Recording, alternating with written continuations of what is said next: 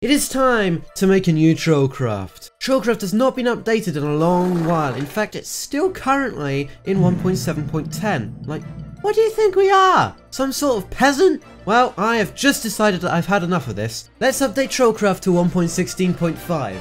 Should be easy, right? No, I was very wrong. I should not have done this, and I want to die. So let's create a new project in CurseForge and name it Trollgo. Brrr! Then we have to painstakingly port all of the mods over one by one from 1.7.10 to 1.16.5. After which, we need to find alternative mods for all of the mods that haven't yet been updated to 1.16 and put them in the mods folder too. And after that, the project kind of looks like this.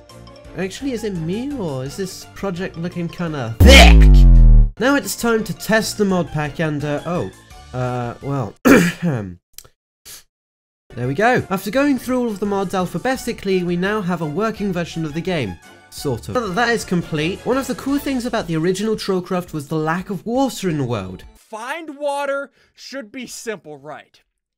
I haven't found water. Now, I wanted to change that and actually make the water limited in the entire world, but how am I gonna do that? Well, as it turns out, there's a realistic liquid physics mod made by Sasai Kudasai BM. Hopefully I'm saying that correctly. So, Hippity hoppity, your mod is now my property. And there we go, the water in the world is now limited. Finally, it's time to add some beautiful shaders and make the game look beautiful. SEUS should do great for that.